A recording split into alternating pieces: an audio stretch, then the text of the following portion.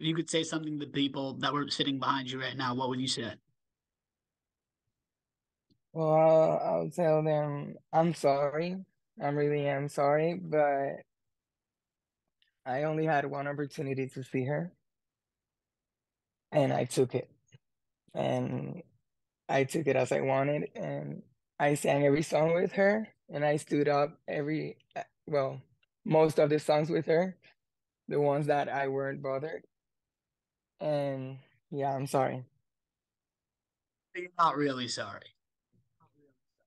I'm not really sorry.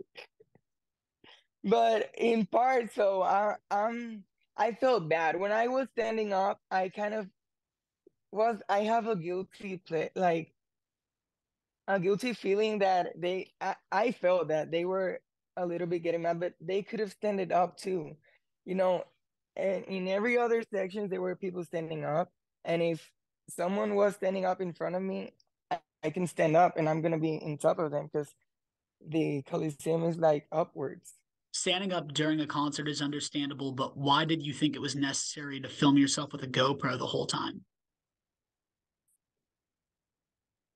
Because I want that memory for a lifetime for me to see it in 10, 20 years, show them to my kids. I want that memories with me forever. If you could say something to Adele, what would you say?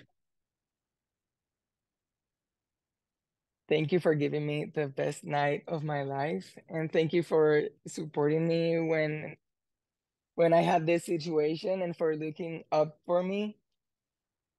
Thank you. I had the best night of my life with you.